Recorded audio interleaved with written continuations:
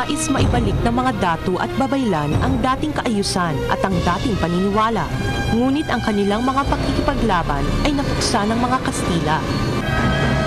Pero may isang pag-aalsa na nagtagumpay na maibalik ang dating pamumuhay at dating relihiyon sa loob ng matagal na panahon. Ang pag-aalsang ito ay pinamunuan ni Francisco Dagohoy.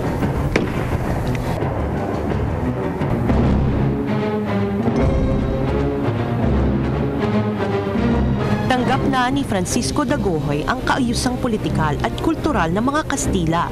Nakatira na siya sa isang pueblo sa Bohol at isa na siyang Kristiyano. Pero noong 1744, namuno siya sa isang pag-aalsa laban sa mga Kastila. May kapatid siya na nasa panunungkulan ng mga Espanyol doon sa kanilang bayan at yung kanilang kura paroko na isang Hiswita inutos doon sa kapatid ni Dagohoy na hulihin ang isang tulisan. Sinunod ng kapatid ni Dagohoy ang utos ng pari pero namatay siya sa pakikipaglaban sa tulisan. So yung kanyang bangkay ngayon ay ibinalik doon sa bayan pero ayaw basbasan ng pari kasi namatay raw ito na wala sa nawala yung mga sakramento. So tatlong araw yun na naroroon yung bangkay sa labas ng simbahan at hindi ginagalaw, hindi binabasbasan. Dahil isa na ngang Kristiyano, mahalaga na kay Daguhoy ang ritual ng Kristyanismo na mabasbasa ng isang namatay bago ilibing. Nang ayaw basbasan ng pari ang kapatid niya na namatay naman dahil sa pagsunod sa utos nito, isang malaking kawalan ng hustisya ang naramdaman ni Daguhoy. So sa laking galit ni Francisco, nagkaroon ng pag-aalsa. Namuno siya ng pag-aalsa, sina, ah, sinalakay nila yung simbahan at sumama yung taong bayan sa kanya. At lumabas sila, pumunta sila ng namundok sila at nagtatag sila ng sariling pamayanan. Pinapakita ng pag-aalsang ito na madali pa rin para sa mga Pilipino na talikuran o tanggalin sa kanilang kamalayan ang kastilang kaayusan at relihiyon.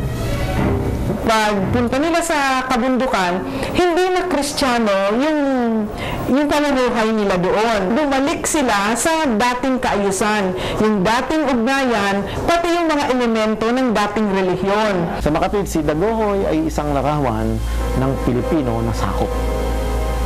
Ibig sabihin, tanggap niya ang Kristyanismo.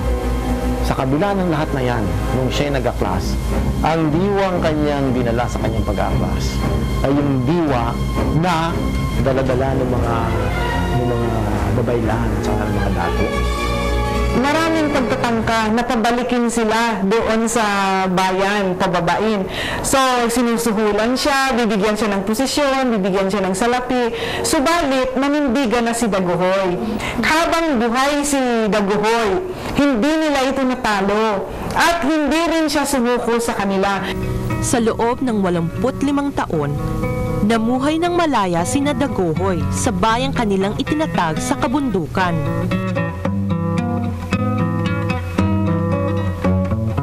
Sa maagang panahon, nakita na ng mga Pilipino na ang tunay na layunin ng mga Kastila ay hindi pakikipagkalakalan, tulad ng sabi nila, kundi pananako.